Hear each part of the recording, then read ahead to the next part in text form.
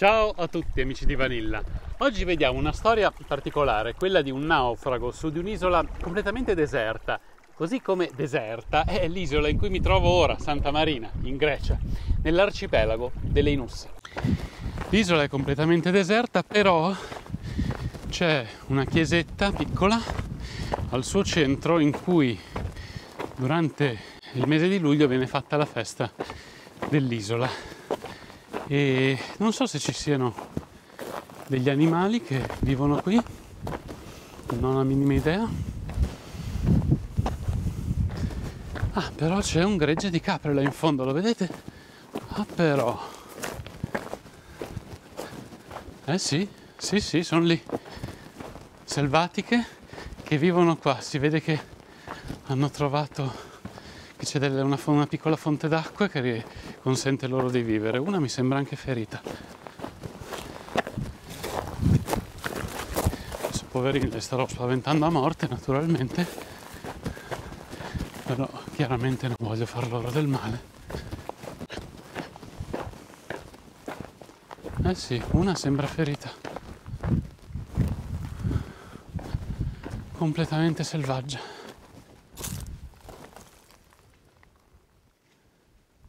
Eh sì, lei è ferita. Anche questo sembra un sentiero.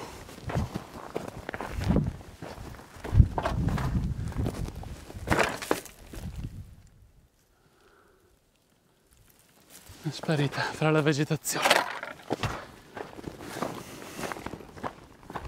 L'isola di Santa Marina è deserta, ma qui c'è una piccola chiesetta che viene utilizzata durante la festa dell'isola quindi mi sembra circa metà luglio, forse il 16, ma non vorrei dire una sciocchezza. E per il resto non c'è nessun abitante umano. Abbiamo visto prima un gregge di capre che vivono quindi nell'isola dallo stato completamente brado. Si vede, immagino, che ci sia una fonte d'acqua perché altrimenti non potrebbero assolutamente vivere. Gli abitanti ci tengono molto a questa chiesa, infatti vedete c'è la bandiera più eh, comunque è ben dipinta, è tenuto tutto molto bene però l'isola è completamente disabitata. Aveva un brutto carattere il marinaio scozzese Alexander Selkirk, ma Ciò non toglie che avesse ragione quando iniziò a discutere con il comandante della sua nave, la Cinque Ports, insistendo perché si facessero delle riparazioni prima di lasciare le sicure acque del disabitato arcipelago Juan Fernandez al largo del Cile per riprendere a navigare nell'Oceano Pacifico visto che l'arrogante tenente Thomas Strailing, appena ventunenne, non si sognava nemmeno di prendere in considerazione le sue richieste, Selkirk chiese di essere lasciato sull'isola più grande, confidando nel fatto che altri suoi compagni si sarebbero uniti nel suo ammutinamento. Quando si rese conto che nessuno l'avrebbe seguito, l'impulsivo marinaio implorò il comandante di riprenderlo a bordo. Stradling invece fu felice di liberarsi dell'indisciplinato Alexander e lo abbandonò sull'isola. Era il mese di ottobre del 1704. Alexander Selkirk aveva 28 anni. La fermezza o crudeltà del comandante si trasformò nella fortuna del marinaio e non solo. La letteratura deve molto a quell'uomo che, dopo un iniziale smarrimento, sopravvisse da solo sull'isola deserta, ispirando al suo ritorno in Gran Bretagna uno dei più importanti romanzi sull'autosufficienza e del coraggio, Robinson Crusoe di Daniel Defoe. Selkirk era un esperto navigatore, entrato a far parte della leggendaria marineria corsara britannica per allontanarsi dal suo villaggio, Lower Largo, dove non era proprio visto di buon occhio a causa del carattere irascibile e della frequente abitudine ad alzare un po' troppo il gomito. Alexander era una testa calda. Dopo un primo viaggio al suo ritorno in Scozia aveva picchiato violentemente il padre e il fratello per uno scherzo innocente. Prima di essere giudicato dalle autorità ecclesiastiche, Selkirk riprese il mare, unendosi alla spedizione di William Dampier, famoso corsaro sui generis, forse più portato per l'antropologia e il naturalismo che per la pirateria. A settembre del 1703 le due navi di Dampier lasciarono l'Irlanda dirette verso il Sud America. La vita reale sulle navi corsare era molto meno romantica di quanto ci si possa immaginare leggendo i libri di Emilio Salgari o guardando gli innumerevoli film sui pirati, a partire da quelli con protagonista Errol Flynn fino agli ultimi con Johnny Depp. Le scorte alimentari andavano a ingrassare topi e scarafaggi, mentre gli uomini dormivano su letti ammuffiti in condizioni igieniche disastrose che portavano malattie come tifo, colera o dissenteria.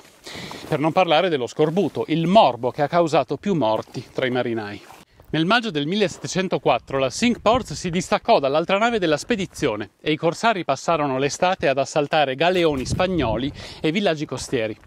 A settembre la nave si fermò nell'arcipelago per consentire agli uomini di riprendersi, mangiando la carne fresca delle capre cacciate sull'isola.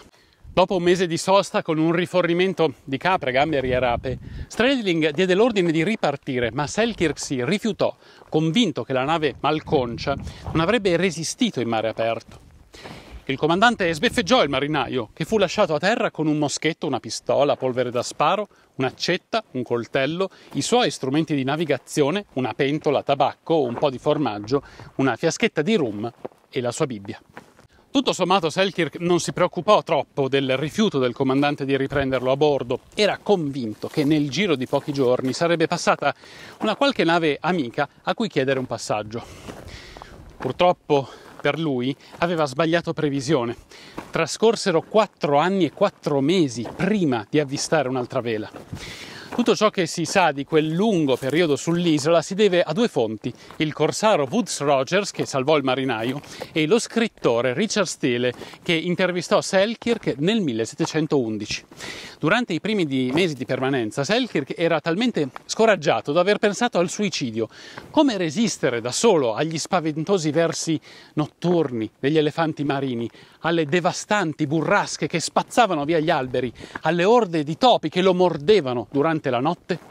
Tutto sommato il problema minore era quello del cibo. Il pesce era abbondante, così come le capre selvatiche e le rape e altre erbe commestibili. Certo, mancavano il sale e il pane. Poi Selkirk si diede da fare. Fu in grado di accendere un fuoco, addomesticare dei gatti per tenere lontano i topi, correre veloce fra le rocce per catturare le capre. Pregava e cantava inni e iniziò anche a riflettere su se stesso e sulla sua vita precedente. La solitudine gli aveva permesso di conoscersi meglio attraverso un percorso dove necessariamente aveva dovuto imparare ad apprezzare solo l'indispensabile. Durante la sua permanenza sull'isola di Massa Terra fu costretto non solo ad aspettare i corsari, ma anche a fuggire i nemici spagnoli. Nei quattro anni di isolamento giunsero sull'isola due imbarcazioni nemiche. La prima non lo disturbò né si accorse di lui, ma la seconda, grazie a un gruppo di uomini inviati sull'isola, si accorse della sua presenza e lo braccò spietatamente allo scopo di torturarlo e giustiziarlo. I marinai spagnoli giunsero ad urinare sopra l'albero sotto cui era nascosto Alexander, senza però riuscire a scorgere la sua presenza. A un certo punto, stanchi dell'infruttuosa caccia, se ne andarono. Finalmente, il 2 febbraio del 1709, Selkirk avvistò il maestoso Duke, comandato da Woods Rogers. Quando fu ritrovato, Selkirk assomigliava certamente a un selvaggio, vestiva pelli di capra e stentava a parlare in maniera comprensibile. Fu tuttavia riconosciuto da William Dampier che timonava proprio il Duke. Selkirk venne a sapere che il suo abbandono sull'isola gli aveva salvato la vita. La Cinque Ports era affondata poco dopo aver lasciato l'arcipelago. Erano tutti morti, tranne il cocciuto Stradling e circa una dozzina di uomini, finiti comunque nelle carceri spagnole. Selkirk fu arruolato nell'equipaggio del Duke e trascorse altri due anni a navigare al largo di Perù ed Ecuador, diventando ricco grazie ai bottini depredati ai galeoni spagnoli. Tornò in Inghilterra nell'ottobre del 1711, otto anni dopo essere partito.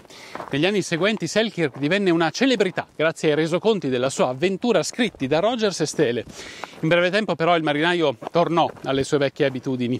Vagava tra i pub di Bristol e Londra, raccontando la sua storia in cambio di un pasto o di una pinta di birra.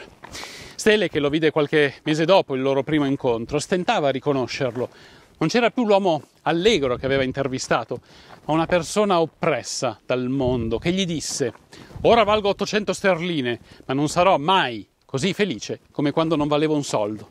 In quel periodo Daniel Defoe, un noto autore impegnato politicamente, rimase affascinato dalla storia di Selkirk, che si trasformò nel suo capolavoro letterario, La vita e le strane sorprendenti avventure di Robinson Crusoe. Defoe scrisse un romanzo d'avventura che al tempo stesso era un attacco alla società britannica, un'allegoria cristiana e un manifesto politico-sociale. Il libro, il primo bestseller a basso costo della storia della letteratura, considerato il primo vero romanzo inglese, fu pubblicato nel 1719, quando Selkirk aveva 43 anni. Un anno dopo, il marinaio tornò alla sola vita che amava, riprese il mare, imbarcandosi su una nave da guerra HMS Weymouth, diretta in Africa occidentale a caccia di pirati. Fu un viaggio maledetto, durante il quale morirono dozzine di marinai a causa della febbre gialla e del tifo. Nel libro di bordo si sono registrati fino a tre o quattro decessi al giorno, anche quello di Alexander Selkirk, il 13 dicembre del 1721, alle 8 di sera. Il suo corpo fu infine gettato in mare.